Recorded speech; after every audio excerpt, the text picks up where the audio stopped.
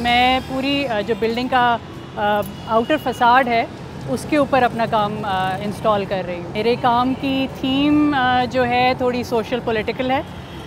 Basically मेरे काम में कभी थोड़ा सा ह्यूमर को मैं यूज़ करती हूँ हमेशा।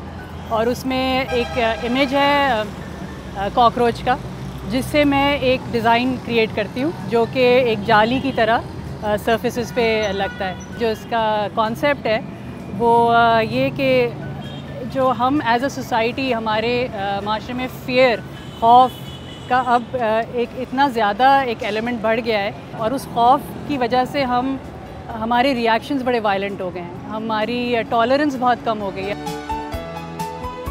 कॉकरोच एक ऐसा इंसेक्ट है जिससे यूनिवर्सली पूरी दुनिया में हर कोई इससे घिन आती है या डरता है। जबकि ये बज़ात ख़ुद इतना डेंजरस या इतना ख़तरनाक इंसेक्ट है नहीं।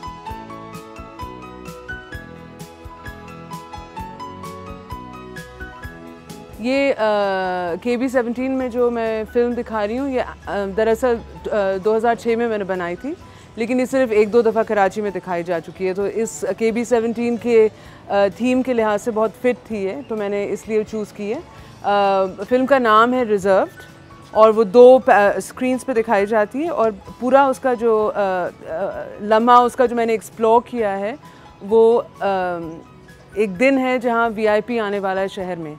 और शहर वालों की जो पूरी एक्टिविटीज़ हैं वो सब रुक गई हैं। तो ट्रैफ़िक जैम्स हैं, बच्चे झंडा लहराने का इंतज़ार कर रहे हैं कि वो गुजरेगा।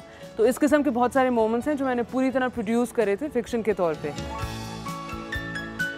तकरीबन ये पेपर कट हुए हैं, दो हज़ार पीसेज हैं कॉकरोचेस के, जो ज़मीन से लेके इस बिल्डिंग की छत तक जाएँगे।